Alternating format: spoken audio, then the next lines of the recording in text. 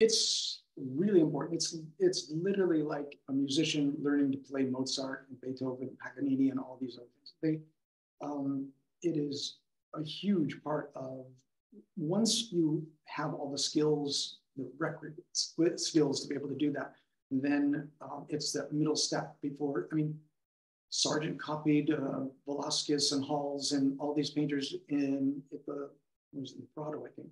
Um, another thing you might not know is that um, in the 1880s, the Louvre was closed two days a week to the public so wow. that artists could come and copy. Oh my God, I didn't know that. What a, what a wonderful fact. Yeah, no, that was that important. And they were, and you had to book, you know, the painting you wanted to copy months and sometimes years ahead of time so that you could actually get into Spend time with it.